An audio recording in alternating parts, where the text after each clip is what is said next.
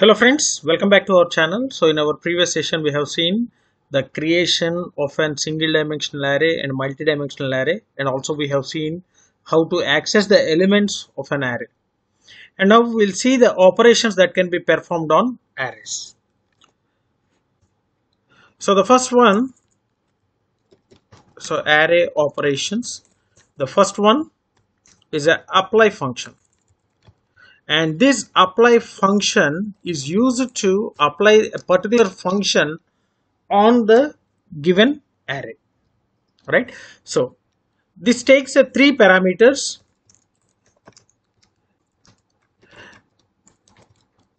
And the first one the first one is a array on which we have to uh, apply the function. And the next one is a margin so margin is uh, either the operations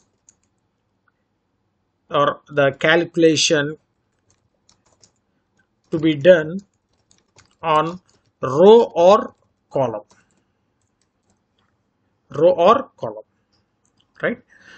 And uh, the third one is a function. So this is a function which we need to apply on array of elements right? So this is the apply function and let us demonstrate uh, let us understand by executing a small program. So i'm opening the r studio and let me clear all the previous uh, data. So if it is available yes. Now create a vector i mean an array so a is equal to array function. The first one is the data which in terms of vectors. So 10 20 30 40 50 60 and then uh, the dimensions. So the dimensions should be written in terms of vectors the number of rows three rows and two columns and only one array. And you can see first let us print the complete array. Yes array has been created. Now we can apply the function so result is equal to apply. Okay the first one is an array and the margin. So it should be in terms of c of 1 and the function is sum. So this is used to i'll write here an example. Example right? So here a c of 1 so margin 1 gives a row operations or row calculations.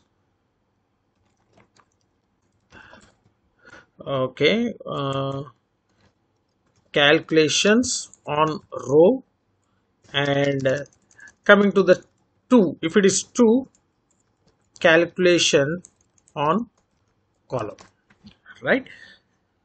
And sum is the sum of elements of an array. For example let us take this one so we are giving one so row wise data will be calculated. Now if i print result and you can see so what happens? We need a sum of array elements.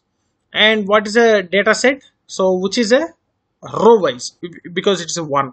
So from array a so in the array a 10 plus 40 50 20 plus 50 70 30 plus 60 90 so 50 70 90 will be the result of RES 50 70 90 and if you go with 2 that implies a column wise sum will be done. So 10 plus 20 plus 30 is totally 60 60 plus 50 plus 40 totally 150 so 60 150 will be the result if we give c of 2 60 150 so the second one margin is a data set. So on which the function should be applied so either it is a row wise or a column wise. One represents the row wise uh, two represents the column wise. So this is the first operation we can done on arrays. The second one is a arithmetic operators arithmetic operations.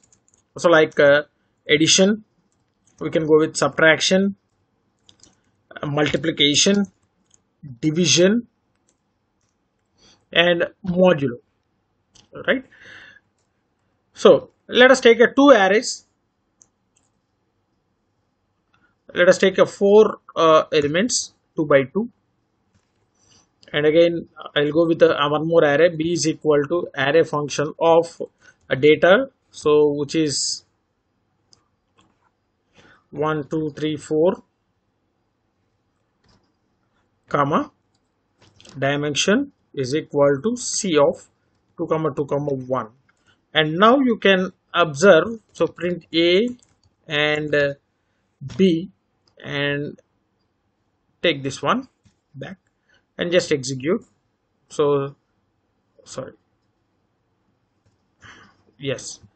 You can observe so 10 20 30 40 is a first array a and b 1 2 3 4 now you can see result is equal to simply apply the arithmetic operations a plus b and print result and you can see the result.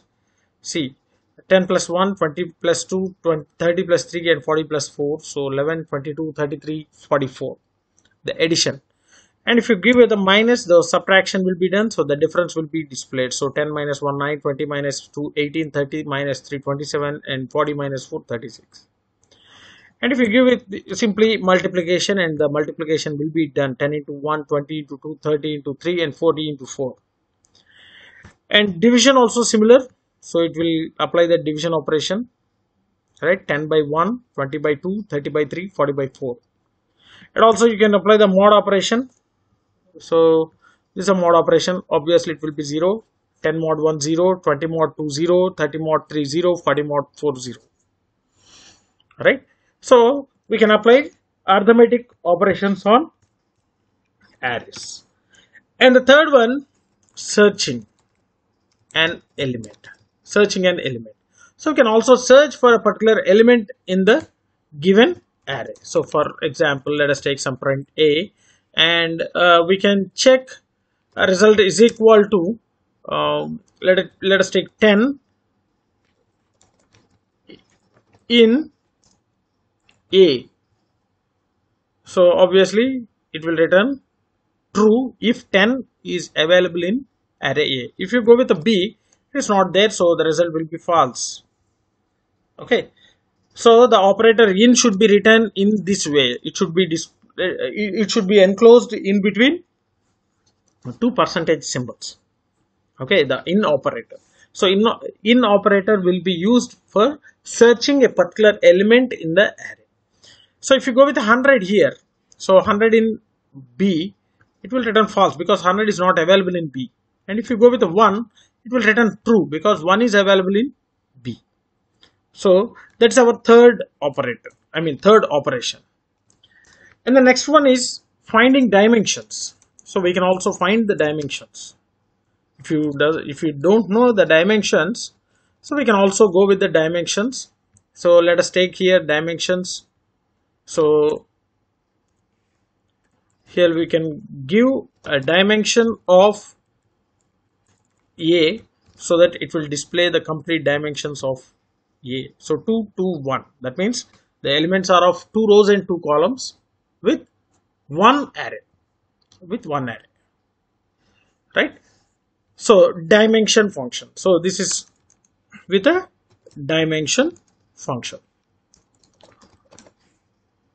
And the next searching searching will be in enclosed in percentage in percentage.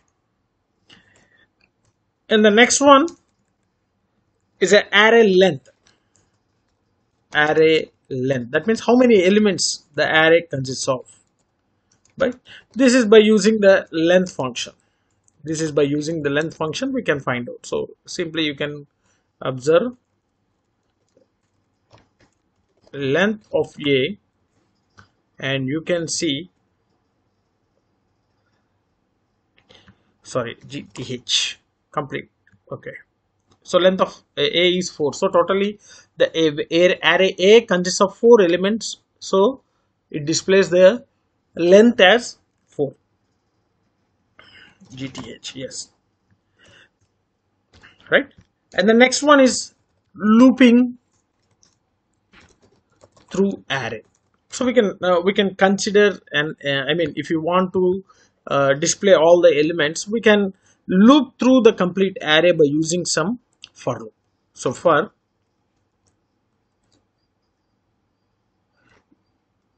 i in a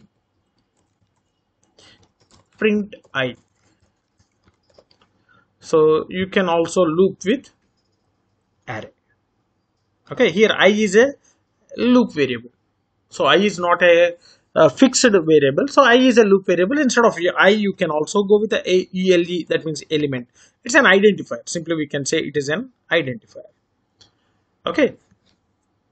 So hope you understood. These are all the various operations that can be performed on arrays. One is the apply function, arithmetic operations we can apply and searching an element in an array, finding the dimensions of an array and finding the length of the array and iterating the array using some loop variable.